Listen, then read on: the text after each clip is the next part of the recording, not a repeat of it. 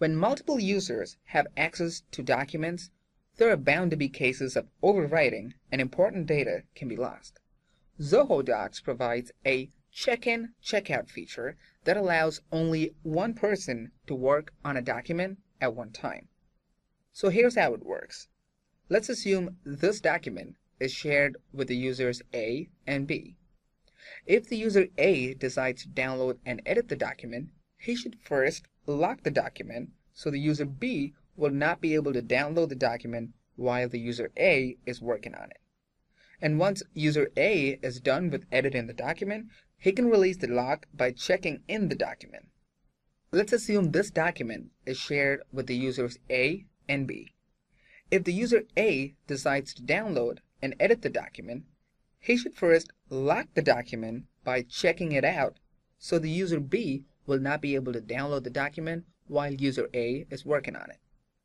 And once user A is done with editing the document, he can release the lock on the document by checking in the file so the user B can download and edit it. Let me demonstrate this for you guys. This document here has been shared with me and another user. So to download and edit the document, I should first put a lock on this document by simply right-clicking on the document and clicking on Checkout. Now the document has been locked and I can proceed to download a copy of this document to my computer and editing it. And notice that if I put my cursor over the file, it says the document has been locked by me. So if the other user who has access to this document hovers over the same document on his account, it's going to tell him that I have locked this document and he cannot download it. So I can go ahead and proceed editing this document in my computer without worrying about other users downloading it and editing it.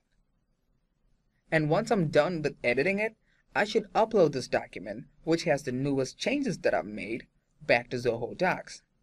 Now, if I use the regular upload button to upload this document to Docs, then this document will become a duplicated copy of the original document, which is still in Zoho Docs. So instead of uploading this as a new copy, I'm going to upload this document as the latest version of the original document from which I downloaded this copy from. To upload the latest version of a document, just right-click on the original document in Docs, click on Reviews, click on the Choose File button, and choose the file which has the newest changes. Enter a note about the newest version if you want, and click on Upload and the document which you have chose will be updated as the latest version.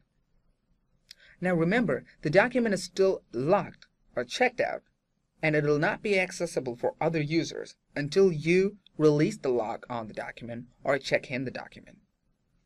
You can leave the document checked out as long as you want and keep updating the versions of this file. And once you're all done with the editing part, and if you're ready to release the lock on the document so others could edit it, just click on Check In. Put in a note if you want and confirm it and you're done. The latest file which you have uploaded and checked in will become the main file and will be available for other shared users to check out and edit.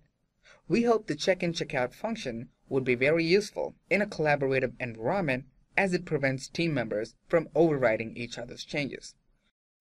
If you need further assistance, feel free to write us at support at zohodocs.com and we'd be glad to help.